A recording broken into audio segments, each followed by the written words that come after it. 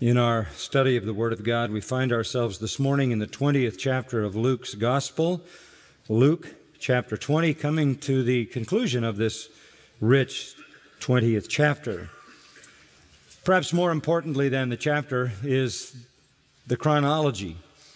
We are now late in the day on Wednesday of the last week of our Lord's life. He will be crucified on Friday and risen on Sunday morning. This is Wednesday. It was most likely Monday that he made his entry into the city of Jerusalem to the hosannas of the massive multitude. On this Wednesday, he has spent the entire day in and around the temple area teaching the large crowds and being confronted by the religious leaders. They have done everything they can on this day to publicly discredit him. The Pharisees have made their effort. The Herodians have made their effort. The Sadducees have made their attempt. All of them unsuccessful, all of them humiliated, all of them exposed by the wisdom, the clarity, and the power of our Lord's response. Luke says in verse 40, they didn't have courage to question him any longer about anything. Now it's his turn to ask the questions. And in verse 41, we read this And he said to them, How is it that they say the Christ is David's son? For David himself says in the book of Psalms, The Lord said to my Lord, Sit at my right hand until I make thine enemies a footstool for thy feet. David therefore calls him Lord. And how is he his son? If I were to title this message, I might simply title it David's Son and Lord. That in itself is a startling title. No Middle Eastern father would ever, under any circumstances, call his son Lord. That would be to turn honor and respect on its head. And yet, David's son is also David's Lord. The nature of the Lord Jesus Christ, the essential nature of Jesus Christ, has been debated since he was on earth to this day. And it will be debated throughout all of human history. And it comes down to this Was Jesus God? Is he God? Or is he merely a man?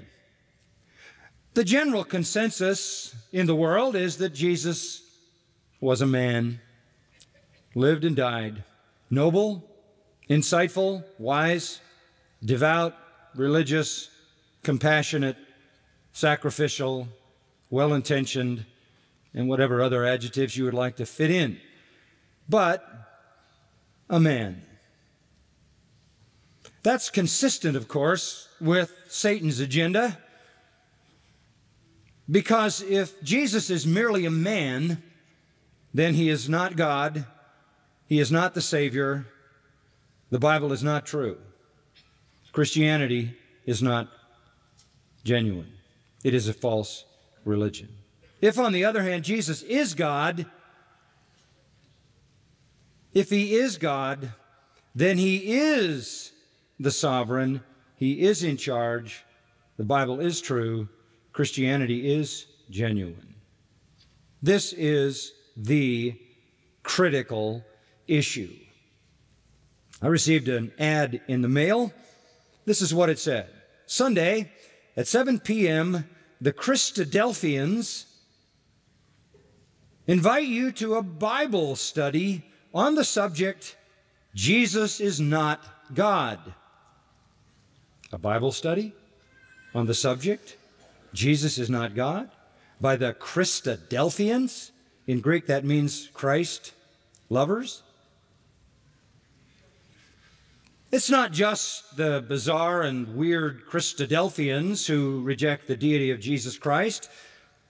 So do the Jews and the Muslims and the Hindus and the Buddhists and the Mormons and the Jehovah's Witnesses and the Christian scientists and the Scientologists. And you can go on and on. If you're going to reject Christianity and deny its truthfulness, you have to reject the deity of Jesus Christ. Jesus cannot be God, or if he is God, then this is the true religion. So the target of false religions is always going to be the person of Christ. There are other errors than this among apostate so called Christians who get other things wrong, like salvation by grace and faith alone. But it is consistent with Christianity that Jesus is God. And anything less than that in terms of defining his nature makes it a non Christian religion. Having said that, I need to say that there are apostate Christians, we might call them liberal Christians, who call themselves Christians and deny that Jesus is God. But that's not Christianity. The Jews today and throughout history and at the time of Jesus did not acknowledge him as God. They did not acknowledge him as Jehovah incarnate. They did not acknowledge him as God, the second member of the Trinity. In fact, they didn't believe that the Messiah would be God. They believed that the Messiah was to be merely a man. No more.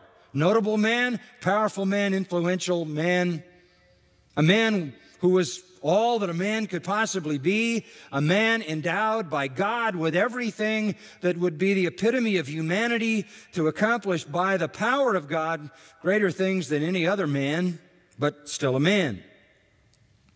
The Messiah was to be human. He was to be a human who came into the world, became the ruler of Israel, reestablished the kingdom of God, subjected all Israel's enemies, and ruled the world of nations from Jerusalem, and brought to fulfillment all God's promises to Abraham and to David. They did not see the Messiah as God Son of God or the Savior of sinners. They saw him only as a man. That was obviously what the people believed because that's what the leaders taught them. When Jesus claimed to be God, he became immediately a blasphemer. He committed the most heinous sin that they could conceive of in their religious system. To claim to be God was madness. In addition to that, he then began a fiery assault on their theology, on their power, on their influence, on their position, on their false righteousness, and even on their temple operation. And that was at the very beginning of his ministry, and it occurred all through his ministry, and again at the end even in this week. He cleanses the temple, confronts their corruption, exposes their hypocrisy, and escalates their feverish desire to get rid of him. The true Messiah, they believed, would be a man, nothing more. And Jesus, claiming to be God, coming in wielding this authority, cleansing the temple, condemning their theology, their self righteousness, and their religion were crimes worthy of death. So they tried this week to confront him unsuccessfully. And finally, as we read in verse 40, their mouths were shut. It's now his time. This is his last time to engage the religious leaders of Israel, the influencers. It's his last time. It's his last conversation. What might you imagine that conversation would be? Well, you would assume that if his conversation with him is the last one, he is going to discuss what is the most important matter. And he does. And he asks them this question, verse 41. He said to them, How is it that they say the Christ is David's son? Let's call that a discerning question. A discerning question. It gets right to the core, penetrating, provocative. A discerning question. How is it that they say the Messiah is David's son? Now, just a reminder Matthew has an account of this question by Jesus. Mark has an account of this question by Jesus. And Matthew and Mark's accounts enrich this one, as we see so often in these synoptic gospels. And if we go to Matthew and Mark, we get a few things that kind of help us. The first one is to ask the question why is Jesus bringing this up? Isn't he aware at this point that they have fully rejected him? What is the point of going back to clarify who he is again? What is the point of that? They are fixed and resolute in their animosity and their hatred and their vitriol. They want him dead, and every moment that goes by, they want it more desperately. Why is he bringing up this issue of his identity again? And the answer comes from Mark 12 34. He knew of some who were not far from the kingdom. He knew of some who were not far from the kingdom. That would include, for example, one of the leaders by the name of Joseph from Arimathea, who you meet later as the one who provides a tomb for the Lord. This, then, believe it or not, is one final evangelistic effort. Even after all the hatred expressed by these leaders, all the superficial interest of the fickle and indecisive crowd who are being led around ultimately by the nose, Jesus, in spite of all of that, is still the compassionate evangelist. He is still down to the very last conversation, inviting sinners headed to hell to know him for who he truly is, to cease their open rejection, to cease their indecision. Yes, he has confronted them with the strongest rebukes. He has publicly shamed them for their corruption and lies. But he still manifests enough concern to speak one more time the truth. For he, as God, has no pleasure in the death of the wicked. His joy is in the salvation of sinners, his sadness is in their destruction. Back to chapter 19, verse 41. When he first approached Jerusalem, at that triumphal entry on that Monday, a couple of days earlier, he saw the city and wept over it. He is the weeping Savior. And so, one more time, he calls them to the truth about himself. And this, dear friends, is absolutely essential for salvation. No one will go to heaven who does not believe Jesus is God. No one. No one. This is the clear, unmistakable, unambiguous testimony of Scripture. John 5, for example, 37 And the Father who sent me, he has borne witness of me. You have neither heard his word at any time nor seen his form, and you do not have his word abiding in you, for you do not believe him whom he sent.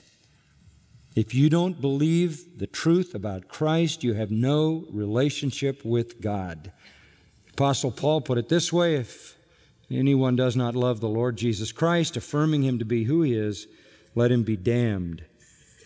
In 1 John chapter 2, verse 22, who is the liar but the one who denies that Jesus is the Christ? This is the Antichrist, the one who denies the Father and the Son. Whoever denies the Son does not have the Father. The one who confesses the Son has the Father also. You have no relationship with the Father unless you confess the truth about the Son. So, once more, the Lord Jesus affirms and asserts his divine nature as God and thus offers himself even to those who despised him. Go back to chapter 15 for a moment, all the way back to chapter 15 to that incredibly rich story that we know as the story of the prodigal son, really a tale of two sons and an amazing father. You go back to that story, you remember the prodigal came back, the father embraced him, reconciled him, kissed him, put a ring on his finger, a robe on him, shoes on his feet, had a celebration. In the middle of the celebration, the older brother appears. Verse 25, he was in the field. He approaches the house. He heard music and dancing. He summoned one of the servants, began inquiring what these things might be. He said to him, Your brother has come. Your father has killed the fattened calf because he's received him back safe and sound. He became angry, was not willing to go in. His father came out and began begging him. The older brother, you remember, represents who? The Pharisees, the scribes, the legalists, the religious leaders. The prodigal represents the outcasts, the tax collectors, the prostitutes, the riffraff, the sinners. They were coming to God. They were coming to Christ and being loved and being forgiven and being embraced. And it outraged the self righteous, legalistic Pharisees who are seen in this older brother. And what was the father's response to this? He began entreating him, verse 29 but he answered and said to his father, Look, for so many years I've been serving you. I've never neglected a command of yours, yet you never given me a kid, a goat, that I might be merry with my friends. And when this son of yours came who has devoured your wealth with harlots, you killed the fattened calf for him? And he said to him, My child, you've always been with me. All that is mine is yours. I offer it to you. I've always offered it to you. Here is Jesus, back to Luke 20 confronting an older brother, confronting the Pharisees, the scribes, the religious leaders again, who have complained over and over and over that he embraces sinners, prodigals. And Jesus here gives an invitation to them once more to consider who he is and to receive the blessings that he will willingly give a repentant hypocrite.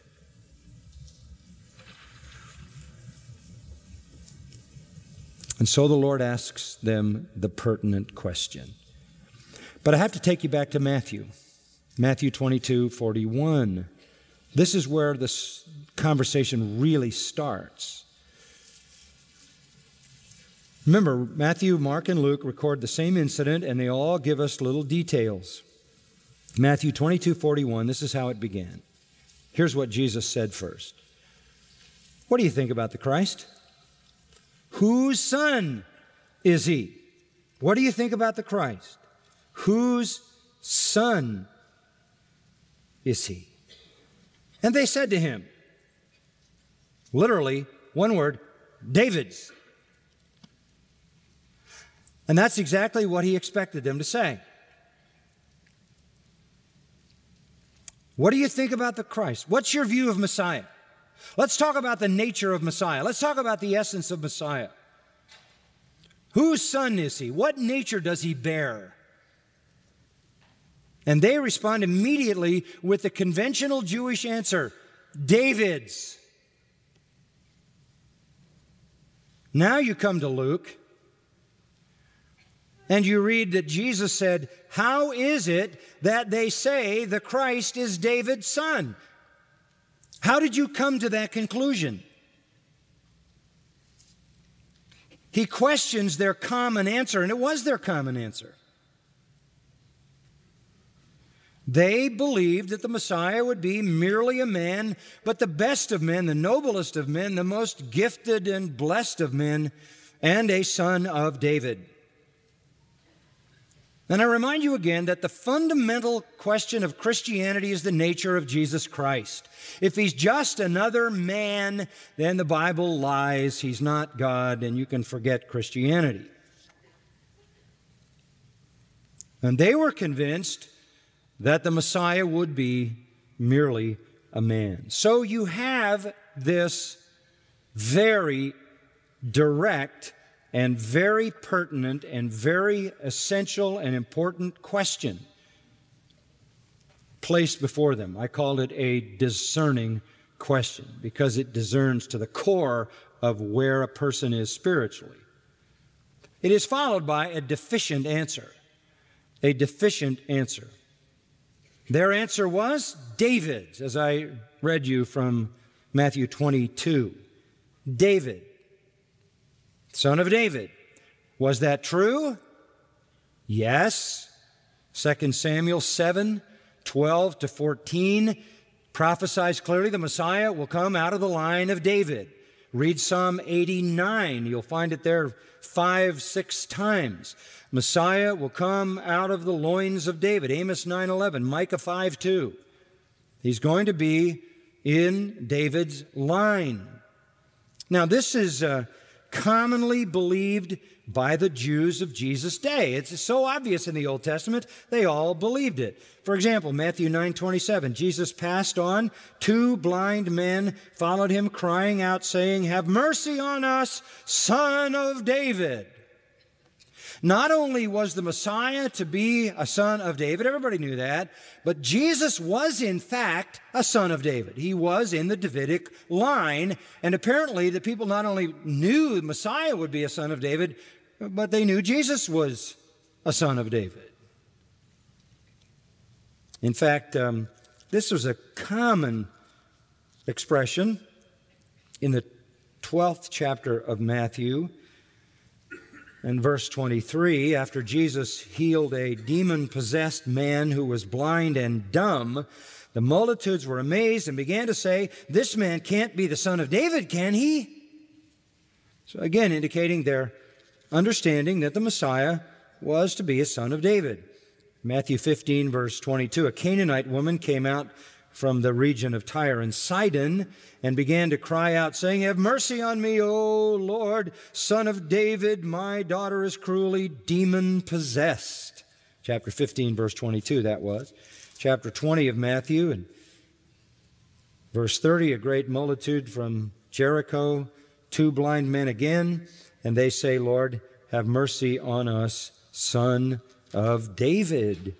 Then when he entered into the city, Hosanna to the Son of David, Matthew 21, verse 9. So everybody understood that. Luke, uh, uh, Luke uh, 18, 38 and 39 also refers to the Jericho expression by the blind men, Have mercy on us, Son of David. It is true that he was in the Davidic line. Genealogy of Matthew 1 establishes that he's in the Davidic line. The genealogy of Luke 3 establishes that he's in the Davidic line. His father Joseph was in the Davidic line. His mother Mary was in the Davidic line. Both lines converge, of course, in him. By blood through his mother, by right through his father, even though his father was not his father in terms of actual human birth.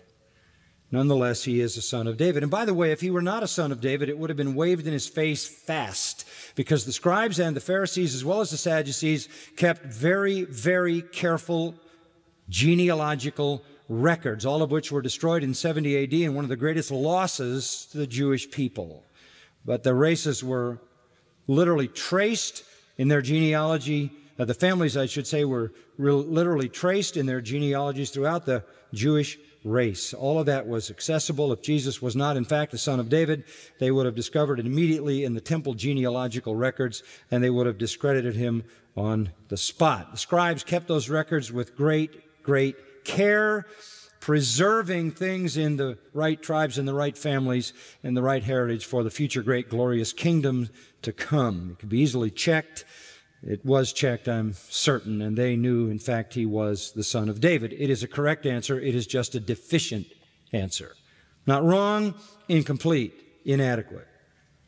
In fact, when the people called him son of David, son of David, the leaders reacted negatively to that because they knew that they were not calling him son of David just to identify his family, but they were calling him son of David as the son of David who would be the Messiah. That's what they resented. There were tens of thousands of offspring that came out of the loins of David. It was fine for him to be one of those, but not the son of David with an uppercase S indicating the messianic title. So, Davidic dynasty and Davidic descent was in fact true concerning Jesus. But that is not sufficient. So you go from a discerning question through a deficient answer to what I'll call a divine reality. A divine reality. This is marvelous. This again shows us so much. Verse 42. The question is, how is it that they say Christ is David's son? How can you say that when David himself says in the book of Psalms, the Lord said to my Lord, Sit at my right hand until I make thine enemies a footstool for thy feet. David, therefore, calls him Lord, and how is he his son? This is just amazing. Now, let me, let me tell you what Jesus is doing here as an argument. Why are you calling Messiah David's son only? When David himself says in Psalm 110.1, that's the psalm he's quoting, Psalm 110.1, the Lord said to my Lord, sit at my right hand until I make thine enemies a footstool for thy feet. Now, let me, let me tell you the foundation of our Lord's argument. Everybody, everybody knew Psalm 110 was messianic. Everybody. The, the standard universal Jewish interpretation of Psalm 110 is it is speaking of the coming Messiah. This coming Messiah is the one who will sit at the right hand of God, the position of power and authority, and make all Israel's and thus God's enemies a footstool for his feet. He is the conquering hero. He is the conquering hero. Very reminiscent of Psalm 2.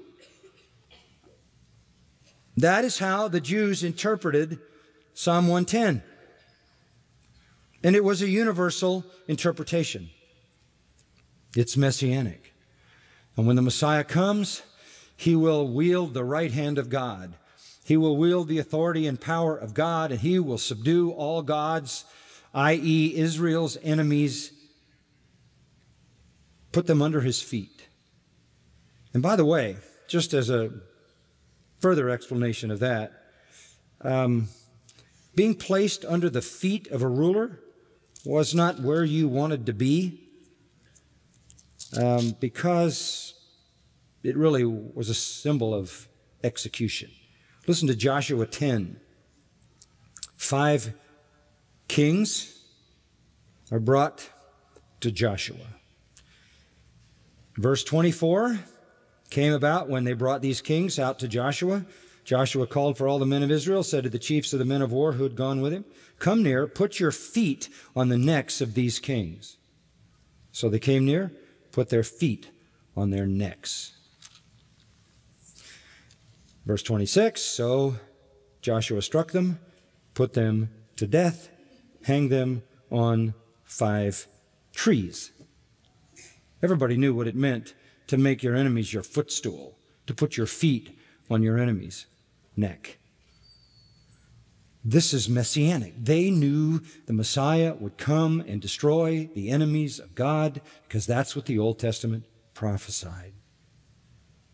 How then, if this is messianic and the Messiah is to be David's son, can David call him Lord?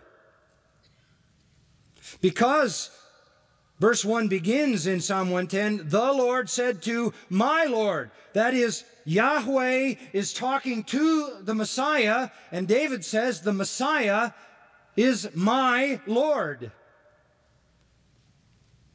How can the Messiah be David's son and David's Lord? Only one way. He has to be the eternal God who becomes man. He has to be the everlasting God who becomes in time a creature. This is stunning to them. In fact, this is so stunning an argument that the Jews scrambled for centuries because of this very incident.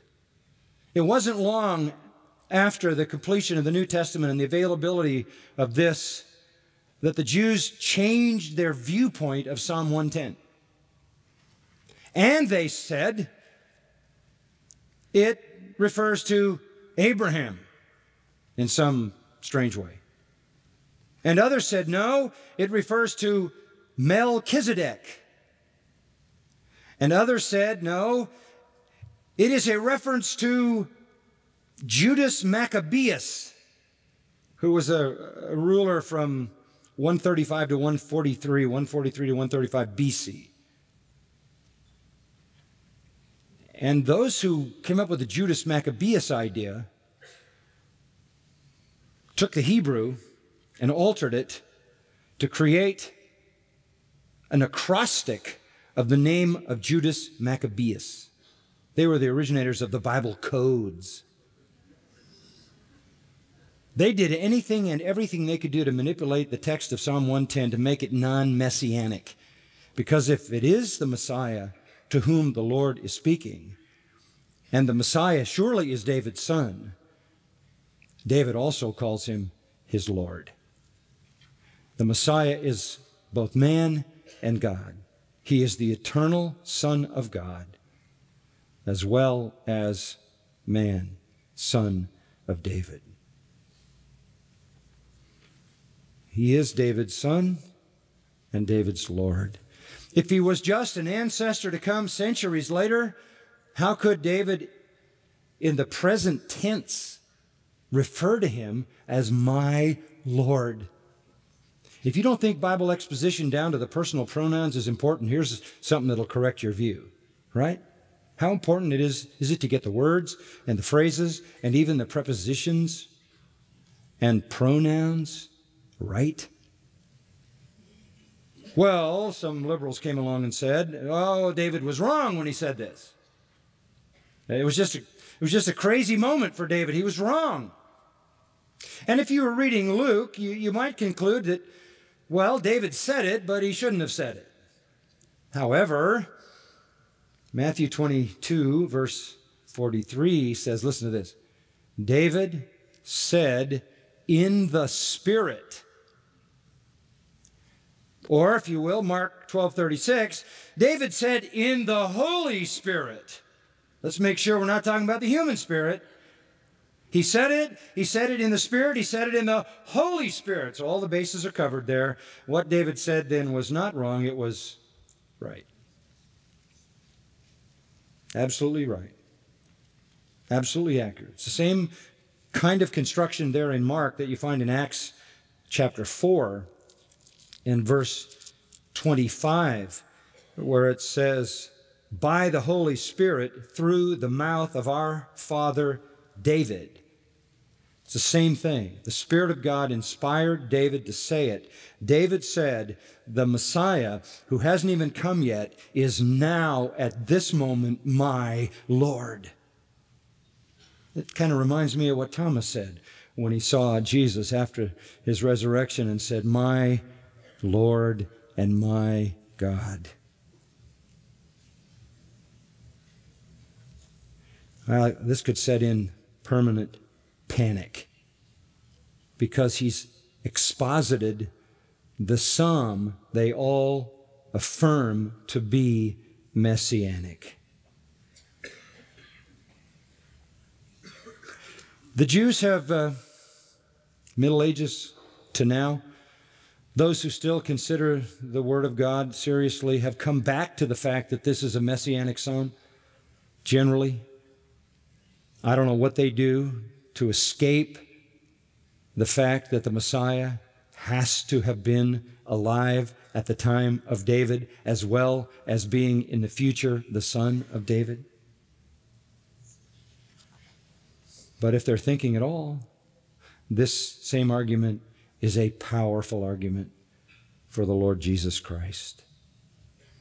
And one day, in the purposes and in the providence of God and in His perfect plan, the Messiah will return to reign and to place His heel on the neck of His enemies in that great eschatological event of His glorious return and judgment and kingdom establishment.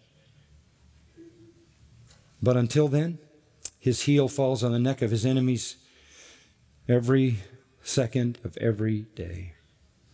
The judgment of Christ on sinners and rejectors does not await the final judgment. It goes on every single day. His enemies are always his footstool.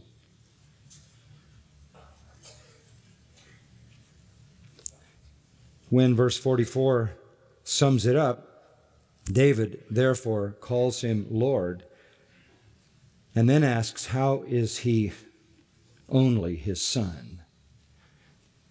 You have an impossible dilemma. The Jews were completely stopped. And in fact, that's what Matthew says. Matthew basically says what Luke says before this incident Matthew says it after this incident, verse 46. No one was able to answer him a word, nor did anyone dare from that day on to ask him another question. After the discussion with the Sadducees, Luke says it was over. The Pharisees circle back after their little meeting. They've got one more issue, and Jesus confronts them with that issue. They were done, but he came to them. And after that, they were done for sure. Luke says they had nothing else left to say. So Jesus asked the question. They couldn't answer that. They are doubly silenced. There's nowhere to go if you reject Jesus Christ. Don't come with any kind of patronizing nonsense about the fact that you think Jesus is a good person and the Bible is a wonderful book. The Bible says Jesus is God. He is David's son and David's Lord. He is the God man. If you believe that, you affirm Scripture. If you do not believe that, you deny Scripture. The Scripture then is to you a deception, and Jesus is a fraud. The Bible is full of lies abandon Christianity, leave the church, get as far away from it as you possibly can. But if the Bible is true, and it is, Jesus is God and man, then what he says is true. What he did is the only way of salvation, and faith in him alone is the way to heaven. You could talk about the deity of Jesus Christ so many ways. He manifested the attributes of God, omnipotence, commanded the elements, commanded the demons, commanded the physical world, commanded death, commanded life, forgave sin, he had the attribute of omnipresence. He was able to be everywhere at all times if he desired to be. He was omniscient. He knew everything, including the thoughts of men. He was immutable. He never changed. He was holy true, wise, sovereign, loving, eternal, glorious, unchangingly so. He is God. He is God in the same way that God is God, no less. And if God became a man, let's just create a hypothesis. If God became a man, what would we expect him to be like? Well, I think first of all, we would expect him to be sinless because the God, the true God, the God of Scripture, is holy. Holy, holy, holy. So, if God became a man, he would be sinless. Was Jesus sinless? Yeah, even his own enemies couldn't find any accusation against him. He was holy harmless, undefiled, separate from sinners. If God were a man, we would expect not only there to be no sin, the absence of sin, but we would expect, secondly, the presence of perfect righteousness. He would be the purest of persons who ever lived. If God were a man, we would expect his words to be the greatest words ever spoken. Because he has the greatest intelligence and the greatest wisdom and the greatest command of truth and the greatest command of the expression of that truth, the words of Jesus would be like no words ever spoken by anyone, anytime, any place. And it was said of him, Never a man spoke like he spoke. He said, Believe me for my works, sinless and righteous and powerful. Believe me for my words. If God became a man, we would expect him to display supernatural power with ease because it would be a true reflection of his nature.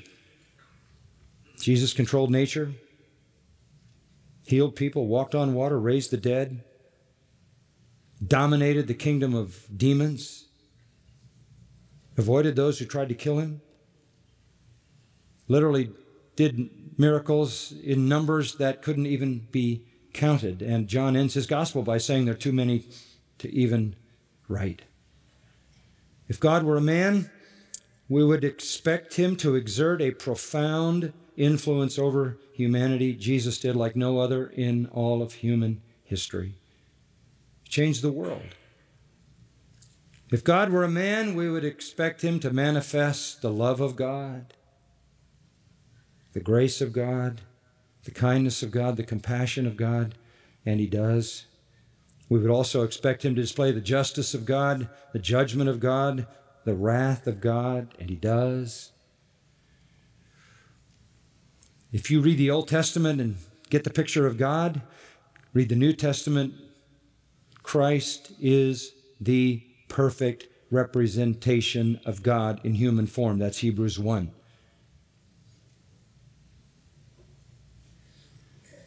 The Jews wouldn't believe it. No matter what he did, they wouldn't believe it. Look at Luke 22. Luke 22, verse 66. This is after they arrest him. Verse 66 When it was day, the council of elders of the people, the leaders, assembled, chief priests and scribes. They led him away to their council chamber, saying, Listen to this. If you are the Christ, tell us. Are you kidding me? You want to know how hard hearted they were? If you are the Christ, tell us. But he said to them, If I tell you, you will not believe. What's the point? And if I ask a question, you will not answer. Do you know they never denied the miracles? None of them. They never denied the wisdom of Jesus. They never refuted his exposition of Scripture. They never discredited the answers that he gave. They just wouldn't believe.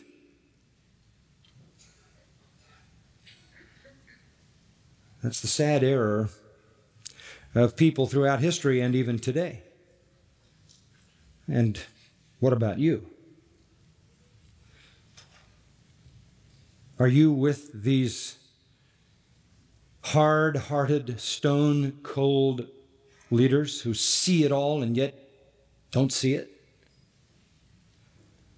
Who never deny any of it, but will not believe it? Or are you with that crowd that is terminally indecisive and can be led around by the nose and one day can cry, Hosanna, and a few days later, crucify him? What is your response to the question, whose son is Jesus Christ? If he is the Son of God, then he is truly the Messiah, the Lord, the only Savior, and the only way by which a sinner, through faith alone, can escape hell and enter heaven. Father, we see again, as we always do, the wondrous beauty, majesty of Jesus Christ. In the Word, we see his wondrous use of Scripture to manifest his own deity and glory. We see his compassion on the hard hearted and the indecisive. And Lord, this is given to us for today as a call, as it were, to those who stand in open rejection or indecision, to consider again whose son you really are. Son of David, yes, but also the eternal Son of God, the only Savior, who came first as an offering for sin and will come again as a reigning monarch. Father, I pray that there will be no heart here turned away, but all will embrace the Savior and believe, repent, and receive the gift of eternal life. And now, Father, we do ask that you would send us away from this place refreshed in the wonder of the truth concerning the Christ we love. May we proclaim his glory. It's in his name we ask. Amen.